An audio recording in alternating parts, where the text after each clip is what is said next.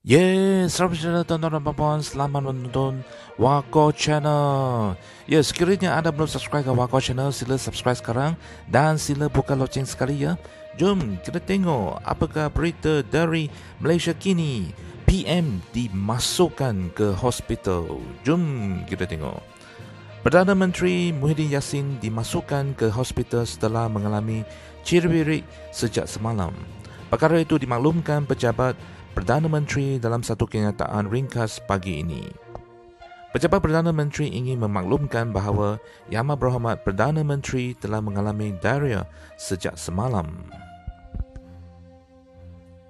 Sehubungan itu, beliau telah didaftar masuk ke sebuah hospital di ibu negara pagi ini untuk menerima rawatan dan pemantauan, kata kenyataan tersebut.